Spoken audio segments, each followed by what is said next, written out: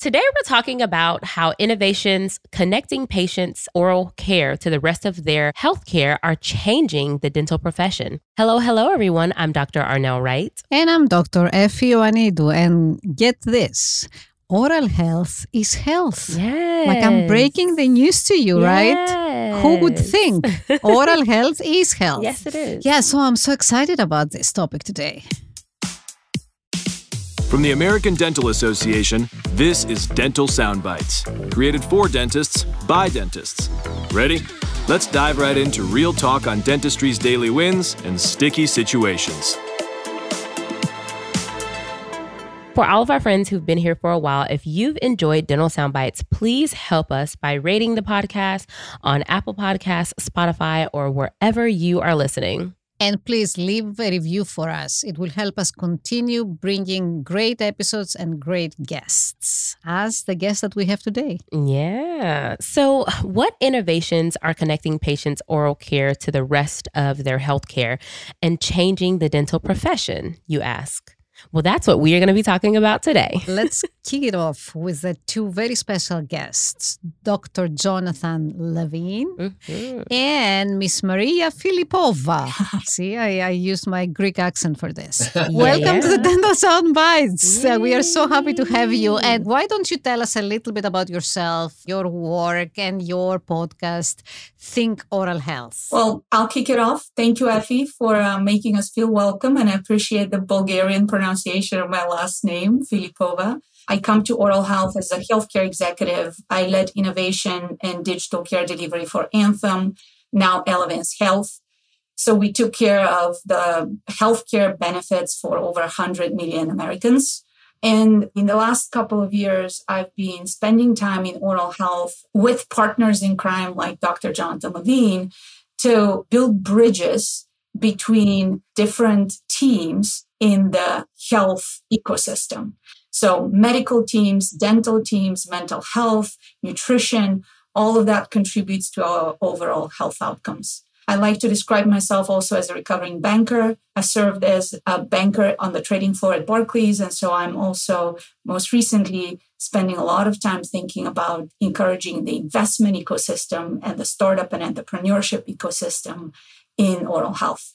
Because as you just said, I believe actually that venture capital and early stage investing is a powerful tool for transformation in oral health and overall health. That's a little bit about me. And I have the pleasure and the privilege to co host a podcast called Think Oral Health with Dr. Jonathan Levine. I'll let him tell you a little bit about himself. Oh, that's great. Thank you, Mariya. Thank you. Well, great to be here. Effie, thank you. Dr. Wright, great to be on your podcast.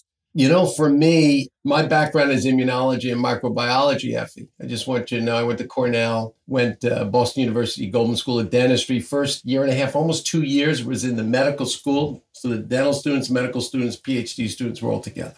Got over the dental school, came out, started practicing, and I realized that this industry is pretty fragmented. Dentists don't really talk to the physicians and vice versa. Uh, we're very siloed.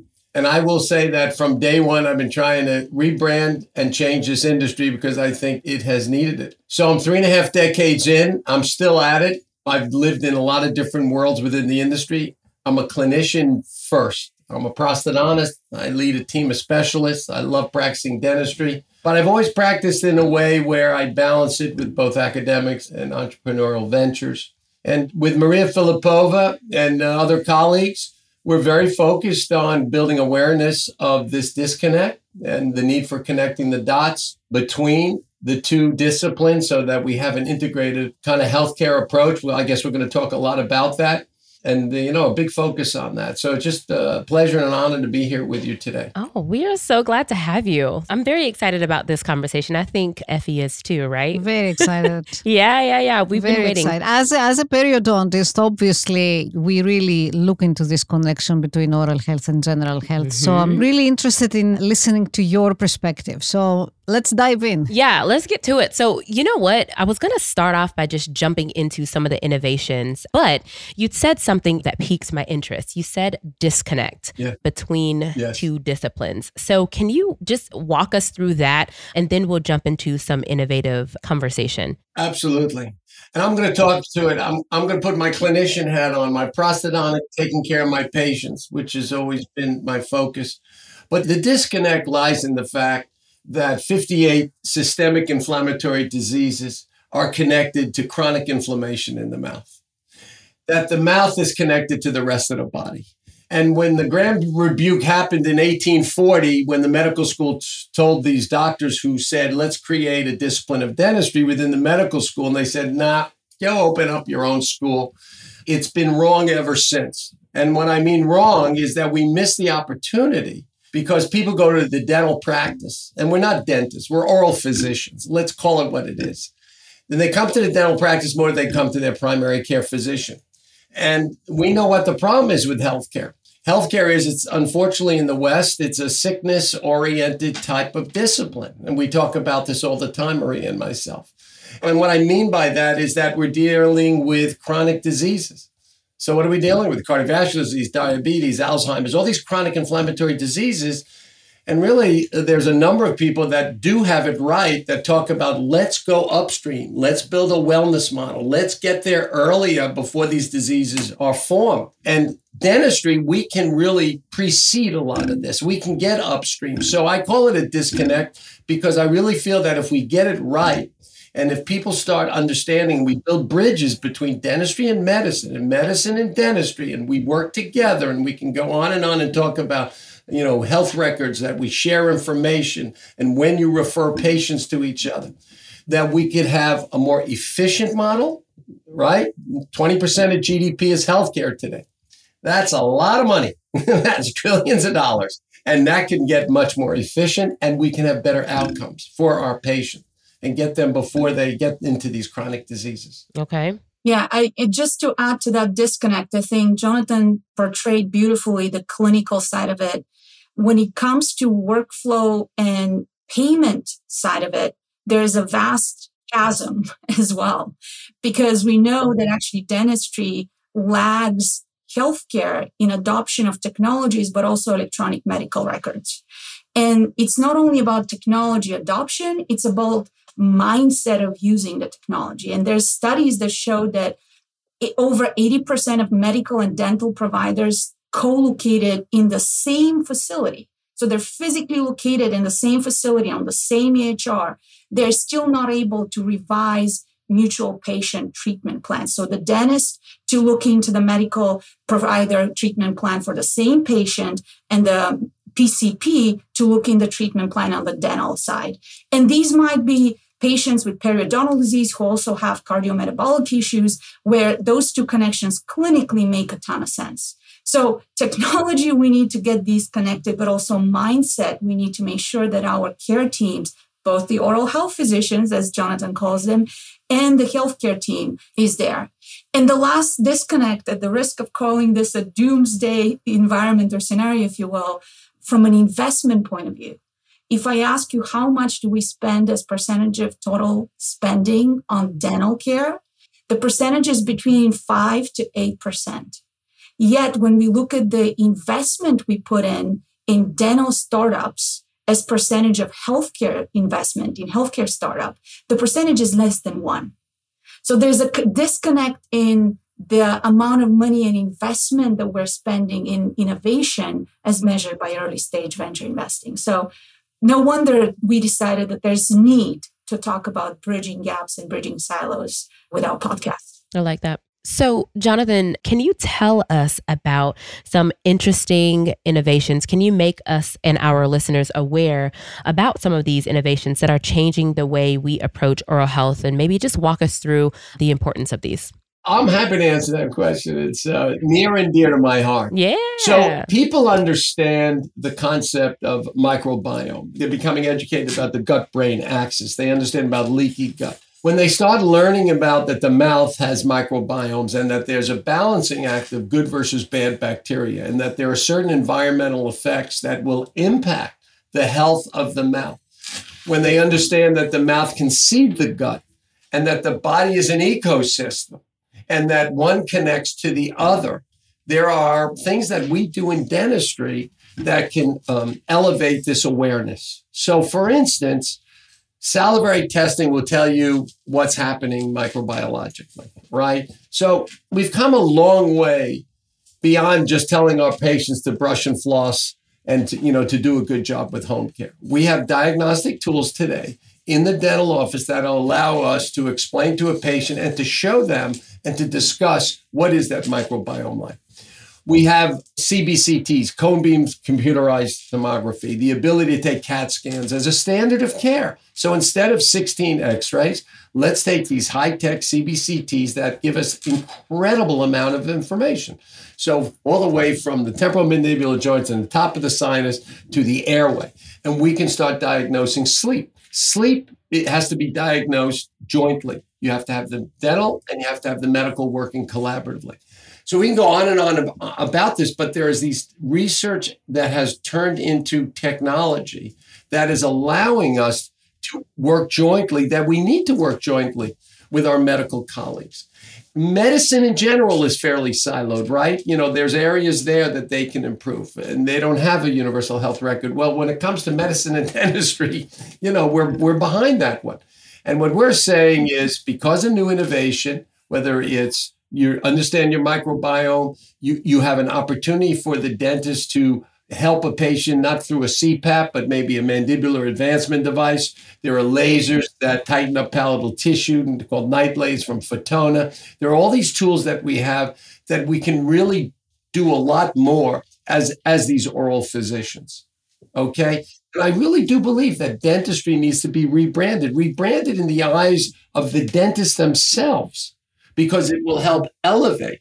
And this comes down to, you know, which is more Mariya's world because she knows a lot more about this than I do. We talk about it a lot, is the payers, is how do we get insurance companies to help the, the preventative approach so that the dentists are incentivized properly through different, you know, insurance companies because it's basically insurance is kind of broken in this country. And we spoke to uh, from the ADA, Marko Vujicic, and I got his last name perfectly stated. I think that was a miracle. You did. You did. we had, an, we had an amazing we had an amazing chat with Marko, and it really having that conversation with him. He he built so much awareness because he gave us the data to support a lot of this conversation that I'm having.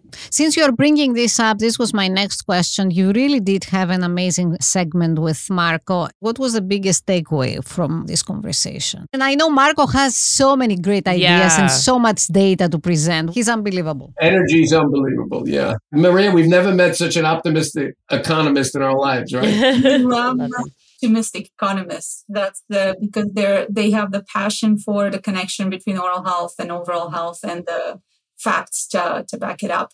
First of all, I invite your listeners to come to the Think Oral Health podcast and find that episode with Marko because we won't do it full justice here. And it's worth a listen. I think the overarching theme of that episode, the reason both Jonathan and I love that episode is because it truly encapsulates what we've committed our careers to do. And ultimately, what the episode provides multiple, multiple data points on is the notion that by incorporating oral health interventions into the treatment plan for a patient, that leads to overall higher clinical outcomes, improved clinical outcomes, and reduced total cost of care. Mm, I'll say that again. yeah. The way to improve overall health or clinical outcomes and reduce total cost of care is to incorporate the dental team, the oral health team, into the care team of the patient. And that's true for all the different conditions that Jonathan was uh, describing. It's true for the chronic diseases from diabetes to hypertension to cardiovascular disease to oral cancer, colon cancer, and the most expensive things like preterm labor. I mentioned I was part of the Anthem Digital Healthcare Delivery and Innovation team. And one preterm labor to get mom and baby out of the NICU costs upwards of $500,000. And on average, that mom and baby later down the road are more expensive members to take care of. And we know, I don't need to, I mean, I'm in the company of great physicians here, periodontal disease has increases your risk of preterm labor four to five times. And so when we look at the true ability to deliver care in a fully integrated way where the patient is the center, not the payment model, not, well, you have dental insurance that covers this and you have medical insurance that covers this, and these are two separate teams. So I think that's fundamentally the economist point of view is by adding preventative services, by adding oral health care services to the care team, what are the end outcomes? Oh, and by the way, those five uh, conditions that we talked about diabetes, cardiovascular, preterm labor, oral care, sleep apnea the combined total is over $1.5 trillion of spending. These are the most costly comorbidities in the healthcare system. And all of them have connections, increased risk to oral health conditions. So that's the perspective I have because it's not only making clinical sense, but it also makes good business sense to do it. Marko had a great line. He said, We have to rebrand the value proposition of oral health. And I love that. And I stated a, a statistic that over COVID, people with periodontal disease, active periodontal disease, were five times more likely to end up on a ventilator. Think about it. And everybody understands about comorbidity factors and cytokine storms and the elevation of our immune response from these inflammatory systemic diseases. And it's no different from the mouth. If anybody's getting this right, it's the functional medicine people. They're amazing. You listen to a Mark Hyman and Andrew Huberman and a number of these people, and they really talk about the body as an ecosystem. So that's what has to happen. And when you elevate dentistry from a standpoint of where it is within the whole healthcare milieu, you start to understand that we can be much more cost effective and with greater outcomes for our patients.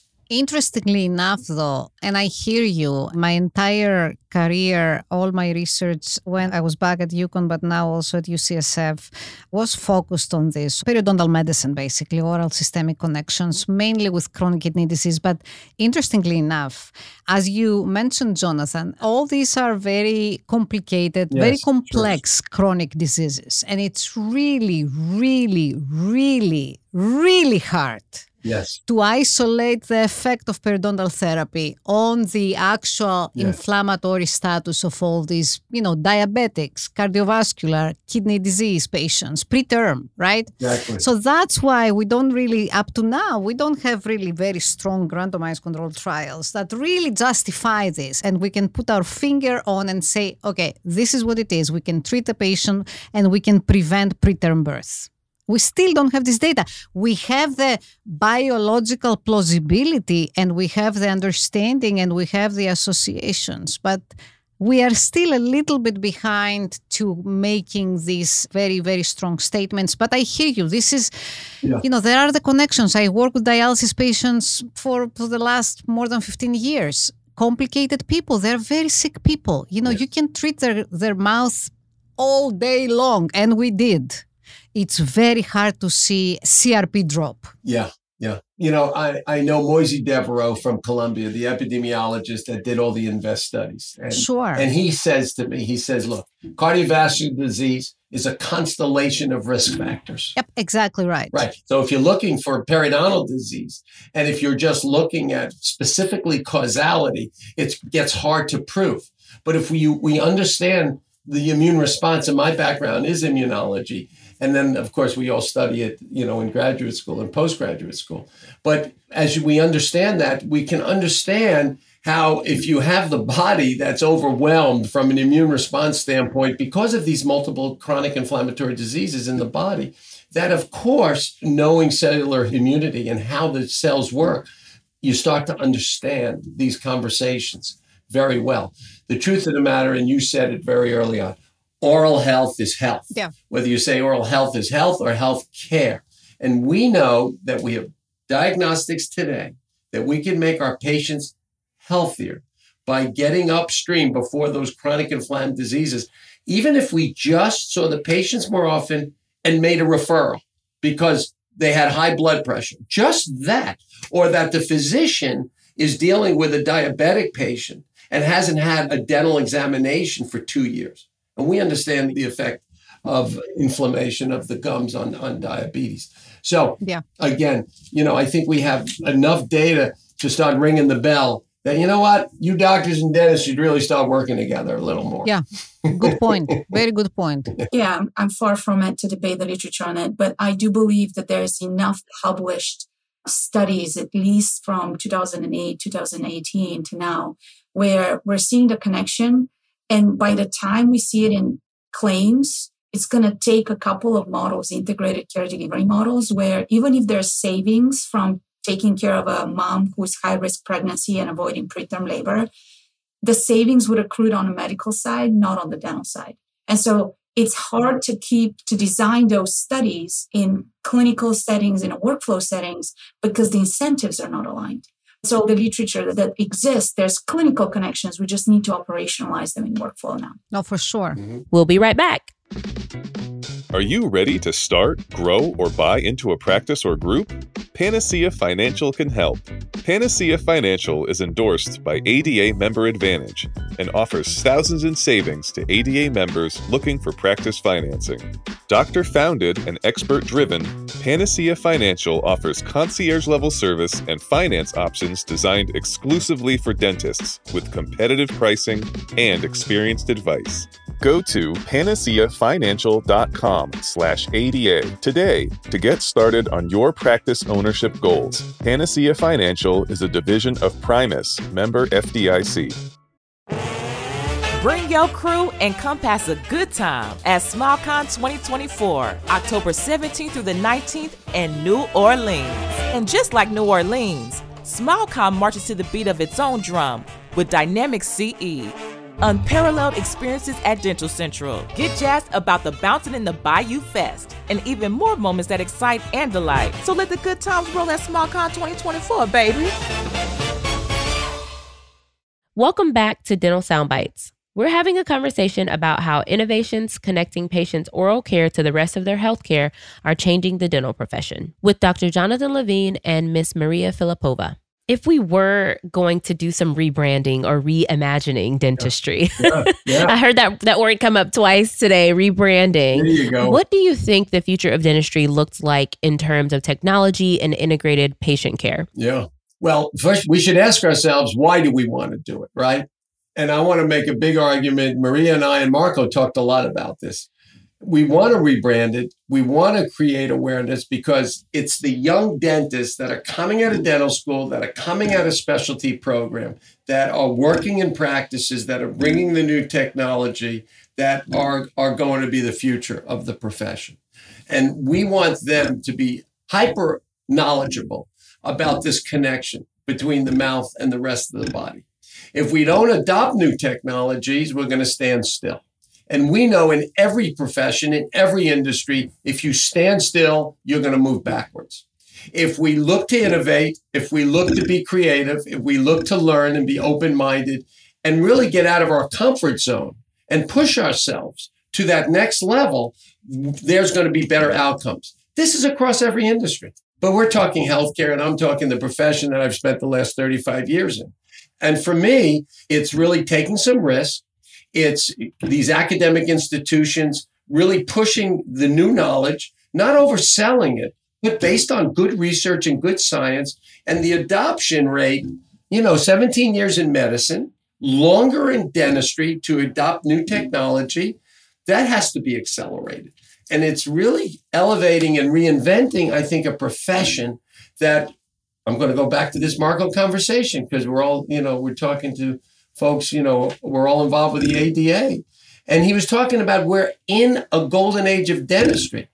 There's a convergence of trends that need to happen, right? The payer model needs to change. Adoption of these new technologies need to change, right? People's awareness of the importance of the connection of how important the oral physicians are. And the young dentists to elevate from a self esteem standpoint of how relevant they are in the whole healthcare model, you know, that's going to happen. So that's where I get real excited because it's really, I hate to say it, it's like the youth. Your youth is going to be our future, you know, and these are the people coming out of these programs and, and are going to be lighting it up within their profession that have the energy and, and bring the optimism and bring this change both to our our overall people in our profession, but really in our patients. This is a very good point, and you mentioned before electronic health records and how disconnected we are, or how connected we could be. And what I see in academia, right? What I see is this. So in San Francisco, where UCSF is located, dental medical schools on the same street next to each other. Yeah. Electronic health system that speaks to each other. So there is a direct connection. The students are trained with this philosophy of the direct communication with their friends, medical students, right? So they do have access to the entire patient record. They treat the patients as a whole, or at least our goal is this, right? We are aiming Yeah, yeah. at this. And I think this generation being trained like this, having access to this, using now UCSF developed AI system to analyze data of these records, right? So it's a very different mindset. And I completely agree with you that technology and innovation is starting to become part of the dental student, medical student training, and perhaps bridging this divisive, you know, whatever culture or myth or philosophy that pre-existed. Yeah. Dr. Effie, how much of the training that you see in UCSF that dental school students are exposed to includes basic business fundamentals about the business of healthcare or technology literacy? Very little. Yeah, Okay, none. don't even go further. Very little. I mean, I don't know if there is any school that expands Yeah. on this. We have discussed with Arnell extensively about this, even simple practice management techniques. Very Yeah. little. I mean, this is another barrier that we have to break for sure. For sure. We always have these discussions. I'm not too far removed. I'm kind of getting close to being far removed from dental school. But yeah, it's very, very little. And it, it would be very beneficial coming out of dental school if there were more, to be honest with you. I'll share just an example that's a bright initiative that's moving in that direction. I haven't seen, to your point, standard curriculum incorporated or classes or uh, trainings incorporated in the standard curriculum. But what I've seen, at least in my own alma mater, I'm a graduate of the business school at Harvard. We have an innovation lab at Harvard. And just as I just asked you now, I, I went to our alma mater, the business school, and I asked them how many of the mentors or the uh, resources in the iLab cover innovation in healthcare or specifically oral health.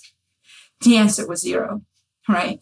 And then conversely, Dean Giannobile at the Harvard School of Dental Medicine, there was nothing that they were offering that was two years ago to, to the students there. So Yeah. now they've created a new program. It's called an expert in residence Wow. in the iLab that is available as a resource to medical school students, dental school students, business school students that has that experience that every student can come in has access to that if they want to work on their own startup, if they have a technology question.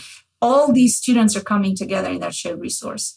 To me, that's a great model to at least start that dialogue between the different disciplines at, at students level. It's amazing. At the graduate school level, there is a lot of innovation at UCSF. You know, we are next to Silicon Valley, so there are definitely at graduate level a lot of startups and a lot of innovation. Undergraduate level, student level, not much. But Will, Will Giannobile, who is a very close friend of mine, yes, he's a very forward thinking, as Mike Reddy here at UCSF is. So I think both of them graduate, Harvard graduate, by the way. Mm-hmm. So in the next few years, I think that we will see a different perspective and a different ideas at dental student level. What I have found, it always starts with leadership.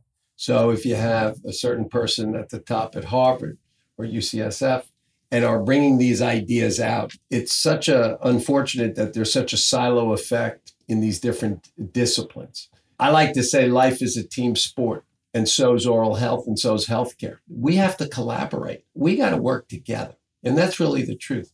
You know, in my clinic, that's always been the kind of my center of the universe. 26 people. We have all specialists under one roof, ceramists. And I finally, after talking about this stuff, I said, you know what? I'm going to do something about it. And I and I never thought I would do this because I got enough on my plate these days, but we're building a new office downtown in Manhattan, and we're going to connect the dots between medicine and dentistry if it's the last thing I do. And we're going to partner with the healthcare industry. I have a guy who is amazing at product, and we're going to create a patient portal the patient owns their their records, and we're going to connect to the physicians that we're going to be working with down there. And there's so many things we can do in dentistry from a baseline. You know, in 24 states, nurse practitioners can do everything a primary care physician can do. So we can set up with good intake forms, just to give you a little hint of what we'll be doing.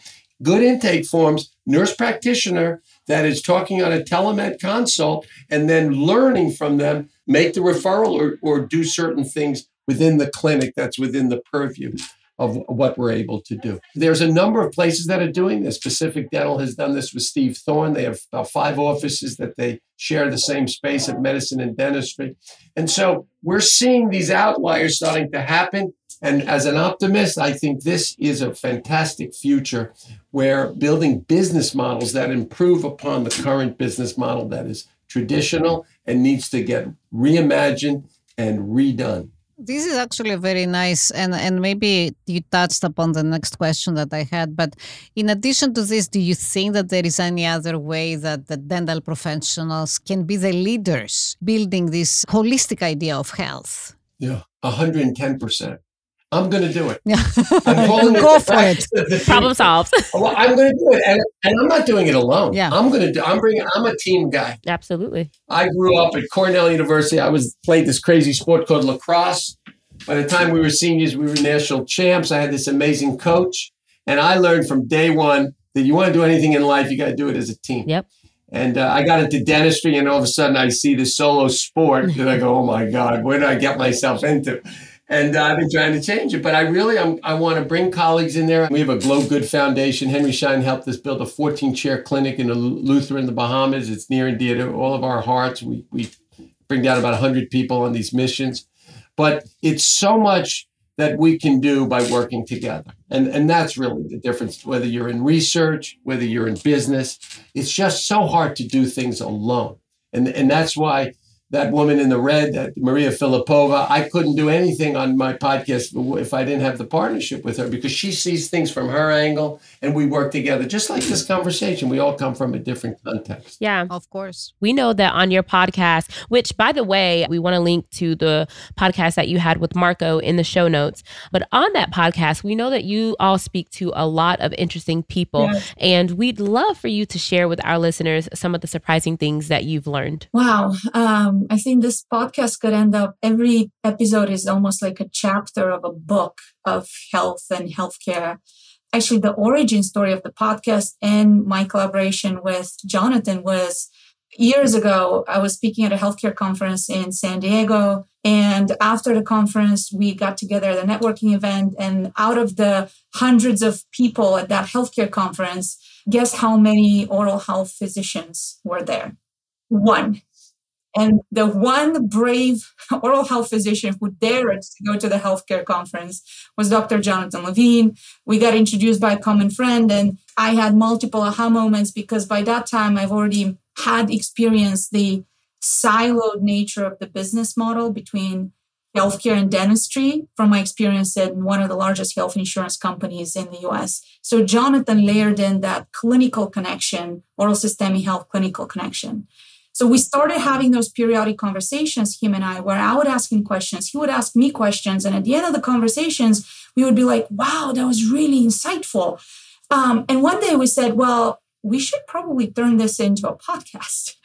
And the podcast was born out of the genuine curiosity and humility with which each one of us approached each other's expertise and areas of domain expertise that's what drove our podcast together because again it was in the service of raising awareness and building bridges across different silos. We invite guests to the podcast that are carefully curated from specific uh, silos if you will and we invite unexpected guests. Our first guest was a friend of dr jonathan levine and the inspiration behind why jonathan does the missions in eleuthera Lenny Kravitz. So we started with a rock star, literally talking about the importance of oral systemic health. And since then, we've been inviting guests from cutting edge research from the Forsyth Institute, the research around Alzheimer's, with Dr. Hatice. Oh, you had Hatice. That's nice. Yeah, Yeah. yeah, she's a dear friend. I love her. She's so good. Love her. Oh my right? gosh. Oh, yeah. These are my people. That's my that's my people too. Okay, we have the same people. We have good people. Yeah. We're We have good people. That's right. Yeah. So there's plenty, and I invite you to go to the website thinkoralhealth.com because you would find anyone from the chairman and CEO of Henry Schein to the CEO and founder, uh, co-founder uh, Steve Thorne at Pacific Dental, to you know Dr. Maria Ryan who leads clinical at Colgate, but also probably some unexpected names like a pediatric oncologist who is a thought leader in all things technology and digital, Dr. Daniel Kraft or an investor in healthcare who was the first investor in a company called Livongo, which was the first company who had the audacity to connect nutrition and mental health into the clinical pathways or the treatment plan for diabetic patients. And then, as you know, Livongo got sold to Teladoc for billions of dollars. So Lee Shapiro was on our podcast, one of those enlightened healthcare investors, and countless, countless other great bridge builders as we call them, across different expertise and silos. Jonathan, who am I forgetting? There's so, so many. You described it beautifully. And I and I think when we look at our industry, I, I think what we all look to do is to bring in all of the people that have an impact. Because the truth of the matter is, we need business people, we need funding, we need innovators, we need clinicians, we need researchers, we need scientists all the way down, we need academics. So many things are changing. Business models are changing. Look at the DSO growth today versus the uh, one dentist, one assistant, one hygienist business model of 25, 30 years ago. So many things are changing just from a, a digital workflow perspective. Look how we scan, design, manufacture in our in our dental practices. I'm known in dentistry for diagnostics. I'm just, you know, I'm all over the the, the opportunity to really diagnose with our new technology and be able to, you know, get to things early for our patients and, and push that through into the profession. So, you know, it's it's a I really think it's a very exciting time for all of us. And the podcast you're doing and what we try to do is really just to raise awareness for our profession and also to, you know, inspire the people who are going to make potentially a big difference. And that's pretty good. What else can we do? You summarize it so well with the big idea and how you see the future. And I think that's a very optimistic statement you made. Thank you. I, I am an optimist, and so is Mariya Filipova. if there's any call to action, because Jonathan knows I'm biased towards action and I don't shy away from calling people out, I think the message, hopefully, of this conversation is please get involved. Medical, dental integration, oral systemic health is here. It's happening today. It's happening on multiple fronts. And it's not something that you could wait out until it passes by as a fad. So if you're a dentist and if you're practicing general dentistry or any of the specialties, just ask yourself what is what can I do that would help my patient's overall health? What happens to my patient when they leave my office? Yeah. If you're a benefits carrier or benefits provider, ask yourself how the funding and the spending on that patient's services today are impacting the overall total cost of care because self insured employers, who are the vast majority of payers in our system, they care about that. They care about the bottom line. And that would be my, my invitation for everybody to get involved, get curious, ask questions, and even investors on the investor side. There's no shortage of innovative companies in oral health that are driving total cost of care down and improving outcomes. So get involved. Yeah, great.